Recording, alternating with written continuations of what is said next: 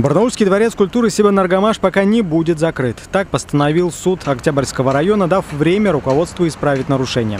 Напомним, после трагедии в Кемеровской зимней вишне весной прошлого года и последовавших за этим повсеместных проверок пожарной безопасности, в ДК Сибэнергомаш было выявлено более 30 нарушений. На сегодня, по словам собственников, осталось только два как объяснил прокурор железнодорожного района, речь в частности идет о системе пожаротушения и оповещения, которые работают, но не соответствуют нормативным параметрам безопасности.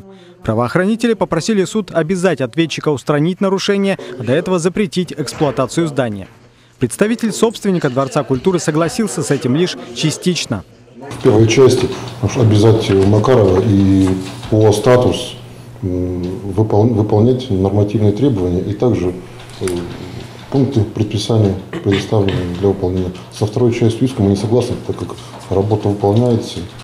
В итоге суд, правда, в закрытом от прессы режиме рассмотрел аргументы сторон и постановил перенести заседание на 22 февраля. В следующий раз ответчик должен предоставить доказательства того, что указанные нарушения окончательно устранены. Пока дворец продолжает работать. Между тем, напомним, сегодня в краевой столице из-за нарушений по-прежнему закрыты две игровые зоны в ТРЦ «Галактика».